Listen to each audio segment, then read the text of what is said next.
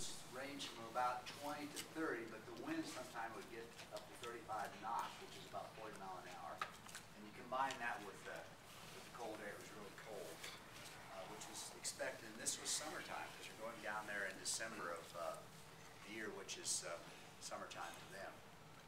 In the, in the winter, which is in June, the temperature will reach hundred below and the winds will reach hundred mile an hour, so it's pretty cold out. Like it was in January, Jerry. Yeah. Yeah. I have about five hundred pictures here, so it should be done about five o'clock. No, Sure. Um, So let's see if we can get started here. That's Virginia and I, and those are the, the codes that are presented to us by Overseas Adventure Travel, which is the agency we went through. And you can see in the background, the mountains, we were on the ship here at that time, that was probably one of the first days, twelve nine is in the right-hand corner there bottom. And we wore those every time we left the ship to go on land, because it was just really bitterly cold.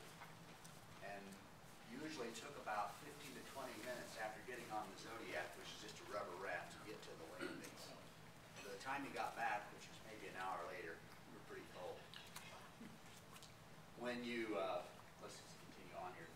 Uh, Before we get to Antarctica though, we had to make a stop in Buenos Aires, because that was where our plane landed after we left, uh, Florida. And the tour guide there was a lady named Sylvia Lopez, and she insisted that we go to this Eva Peron mausoleum, because that's, to them, she was a goddess in, uh, Argentina. And we went there, took some pictures, and, uh, walked her through the, uh, through the cemetery there. And in, in Argentina, the size of your mausoleum dictates where, where your social strata was in life. The Bigger the mausoleum, the more important you were to those people. And this one was, was pretty nice. Each day there were flowers brought to this mausoleum to honor Eva Peron. She was, uh, she was to the people everything. She, she came from a real poor background. Uh, she married Juan Perón, uh, and became pretty much, uh, uh, a, uh, a person of significant importance to the, uh, the Argentines. She was, she came from poor class, so she did a lot for them in terms of, uh, governmental programs. Uh, she had her detractors because some people thought that she was kind of a Robin Hood. She would institute programs that, uh, was a redistribution of wealth, and they didn't think too highly of her, but most of the, most of the people, she was a special person. She died in nineteen fifty-two, she was only thirty-three years old. Um, Had cancer, at that time, I guess it was pretty incurable for that kind of cancer, but she's still very highly thought of. This is the, uh, the building where she gave her Don't Cry for Me Argentina speech. In that top middle level is where she spoke to the audience below, and this whole arena was filled with people. And she was pretty close to the end of her life when she made that presentation. She was so sick that they had to, uh, hold her up with a steel corset. She, and the people really didn't know how sick she was, but, and the doctors kept that from the folk because they realized that that would have a dramatic effect on, um, her, you know, living any more. Um, Like I said, she was thirty-three years old, came from a real poor family, but uh, rose to quite a position with the government. And, uh, was highly thought of by those people in Argentina. I, I didn't really care for Buenos Aires. It wasn't that clean of a place, and I didn't really feel comfortable walking down the streets. And they told us that when we got there, never to go in a pair of two, at least get four, six people to walk with you, because there are mustard people there. And that means they'll spray mustard on you and then help you clean it off. And in the meantime, they steal all your, your change, your, your money. So they're, they're called mustard people. We didn't have any problem with did stay in groups. And um, we spent two days there touring downtown Buenos Aires. It's a town of about 12 million, so it's really huge. There's a huge amount of poor people in Argentina. I guess there's really two classes. You either you got it or you don't have it. That's why Perón was so um, so important to those people because she did kind of equalize the, the wealth distribution now back to, this is our ship. Uh, we were on the second level, we carried about 106 passengers and 30 crewmen. The, there were four different groups. Each had their own leader. Ours was Sylvia Lopez. She was an Argentine. And uh, the other three groups had other people from Argentina. I really didn't position on the ship was in the second level. There were three levels of rooms. Like I said, one hundred and six people with thirty crew. It took us two days to cross the Drake Passage, and uh, that was kind of an experience. On the way down, it was really windy. On the way back, it wasn't, and that's the way they say it usually works. Are you gonna have a rough trip there or a rough trip back? And ours was going down. I didn't get seasick, but Virginia did. She stayed in bed for a day. Uh, That wasn't pleasant, uh, to see her that sick, and there's several, several other people that were pretty ill too. The ship would, would roll about four to five degrees this way and then four to five degrees that way. And as you walk down the halls, you, you're constantly bumping into one side or the other because you never know which way to roll. One of our neighbors, a lady from California, got up in the middle of the night to use the restroom and she fell and slid across the floor on her stomach and hit her head on the kick plate. And the next, her husband got up and took her to the, to the ship's doctor and they stitched her up. She had six stitches above her eye. So it- that was kind of a, an eye-opening experience for her and for the rest of us. Eye-opening. This is the town of Ushuaia, which is the southernmost city in the world, the tip of South America. And this is where we departed from to go across to the, the continent of Antarctica. Uh, it was really cold that day. Um, You can see it's twelve-four, so it was in the early part of our trip. We spent a day in Ushuaia walking around. It was just a cold, bitter, uh, day, and I was glad to get on board the ship to leave to go to Antarctica. Um, These are the beds we slept in, you're belted in bed. And that really did help, because as it rolled, if you weren't in, uh, you know, with the belt on, you'd roll out of bed. Wow. There's another picture of the the belt's bed. There's the library on board, if you were not feeling well, because of seasickness, you could go to the library and just kind of rest, and there's a lot of people that didn't use the library for that reason. Um, Like I said, on the way down, it was rough, on the way back, it wasn't bad, so most of the people that had uh, problems with their stomach had it on the way down. Uh, I, I had the patch on like everyone else did, and I, I didn't feel well for a day, but I didn't really lose it like a lot of people do. You don't have to give us great detail. Okay. This is, uh, I don't know if you can see it, but these four drawers on each side, there's metal rods that go down from the top of the the cabinet to, through the drawers. And I wondered when we got on board, what's that for? Well, that's to keep the drawers in place. When the ship would roll, those drawers would roll out. So those rods held the, those drawers in that, uh, that cabinet. We figured that out after the first night. We got up in the middle, I think, what's all that noise? Well, those drawers are rolling out. This is the, uh, when we left to, to, uh, get on the Zodiac, which is the rubber raft to go to the, to the, uh, make our landings, we had to turn these, uh, these pin, or these, uh, tokens over, they had a number on it. That number belonged to you, and you turned it over when you left the ship, and you turned it back over when you got back. And that was the way they counted whether or not you were still left on the beach or not. I got a call one day, uh, after we came back and said, uh, you didn't turn your, your, uh, your your token over. Oh, sorry about that. So I had to go down and physically turn it over in front of them to make sure that I was I said I was. And of course, uh, my number was seventy-seven. I think there's hundred and six on that board there, so that was the number of passengers we had. But they were very careful about security. Uh, and, you know, that you didn't get, uh, left or, or injured. When you got on the boat, there were several people that assist you, because it was bobbing and weaving, you had to step off the stern into the Zodiac. They loaded that very carefully, you know, one person would get on, walk to the front, sit on the right, another would get on, walk to the front, sit to the left, so it was always balanced. There was about ten or twelve on the Zodiac, so it took a while for them to load, but there was plenty of rafts, uh, to take you to the beach. And like I said, you go to the beach, uh, do the landing, walk around, and then when But every time you come back, you just reboard the Zodiac and come back to the ship. And then when you got on, you'd have to decontaminate your boots, because they didn't want any of that debris that you picked up on the beach to uh, get on the boat. So you'd walk through this little uh, puddle of water there that was decontaminated. Put your boots away, then you go in and turn your token over, and you're back on board. Like I said, we did nine landings.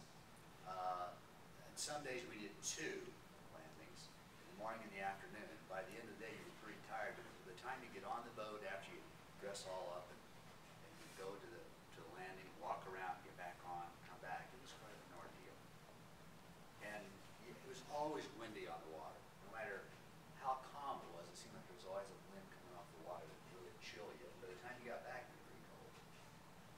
They see they clean their boots there, and that was required, you couldn't get out of those boots if you did that.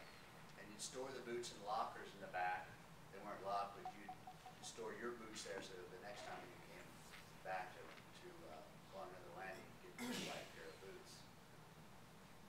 The boots were, we didn't buy the boots, the boots were rented, you just had to make sure you got the right size. That's the Zodiac boat. It is lifted by crane onto the water. Uh, The captain of the ship, uh, he is really the king. I mean, if he said you didn't go, you didn't go. Uh, and They would make sure before they, uh, that you went to a landing that it was calm enough to get on board the Zodiac without risking some harm to the, uh, to the passengers.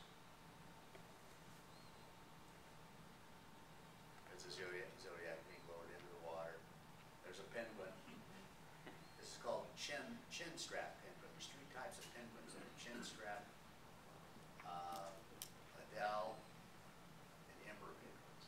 And these are the most, the most, they share the, the most in in abundance there.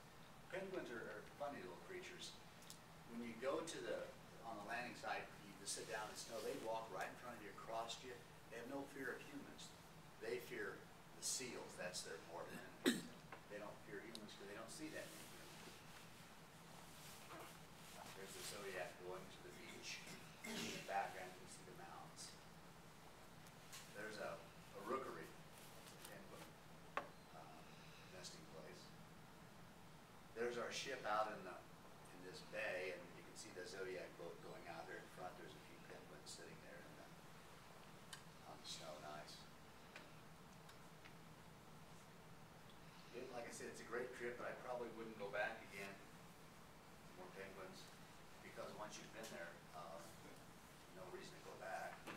Our, our leader, expedition leader, he was in charge of all the groups, was a Brit named John Frick. John had made this trip fifteen times. I guess he's, he's paid well for that. Some more of the, the snow and ice. It's a, it's a white wilderness, place you look, white with snow and ice. That's a skewer bird, S K E W E R, lots of those down there. They're very pretty birds, lots, lots of birds. These people are standing out on a, a, uh, kind of a bit of snow there, looking across the bay.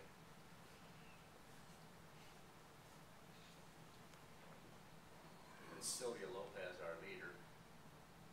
She's a very proud Argentine. I, I like her though. She spoke three languages, Spanish, English, Portuguese.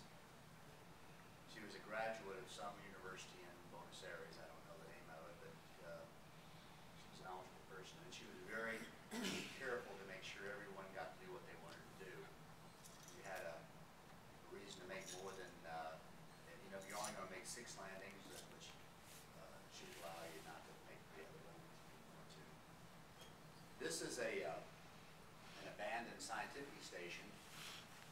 The Argentines used it for some kind of scientific uh, project, I'm not sure what, but, uh, now it's kind of taken over by the penguins there. Those are elephant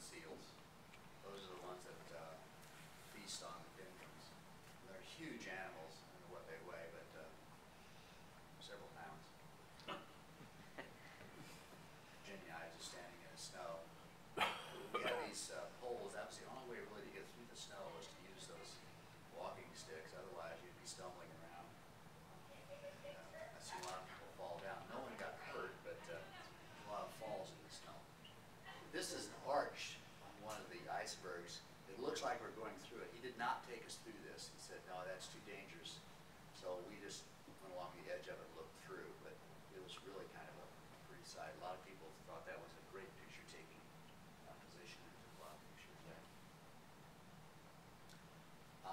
this is three members of the crew. The, the guy on, uh, the left as we look at the picture was the chief cook.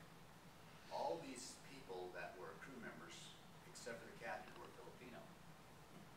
And, uh, the food was great. They did a great job. You could eat as much as you want. Everything was a, uh, was a feast. And the wine drinking was pretty excessive too. I didn't drink any wine, but, uh, as long as you wanted to drink wine, they'd fill your wine glass. I guess that was to compensate for some of the sickness. Here's a, a rock that has a, some information relative to a ship's crew that visited this place in, uh, nineteen twenty-nine.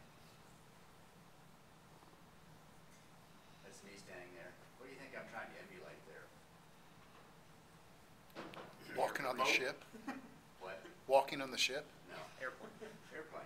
That's an airplane hangar in the background there. Not used anymore, obviously, but at one time, uh, they landed seaplanes out in the, uh, harbor there, I guess whenever it was summertime, and they'd winch them into these hangars. Thought that was kind of interesting. We went to several whaling stations in terms of our landings that have been abandoned for years. And you could see all the equipment they use to process the whales into whale oil.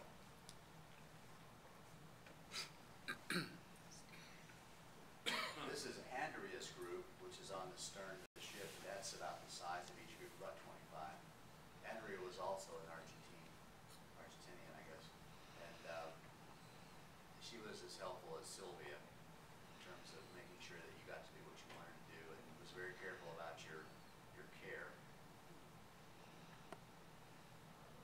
And that's some more members of the crew, again, all Filipino. I'm not sure why that's the case, I didn't ask that question, but, uh, they were, but they were very, when you watch across, uh, into the, into the dining room, if the ship was rocking, they'd come up and help you get to your chair, because a lot of people were stumbling against one another, but they were very helpful and always made sure that, uh, you didn't fall.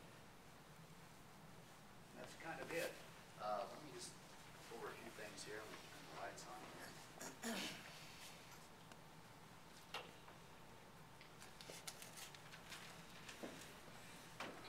The temperature, I think I told you, average of between twenty and thirty-two degrees. Our highest wind was thirty-five knots, which is about forty-two mile an hour, were at sixty-four degrees south latitude. And the, the South Pole is at ninety degrees, so we were quite a ways from the South Pole, probably about, well, maybe a thousand miles, so. a Long ways yet to go to the South Pole.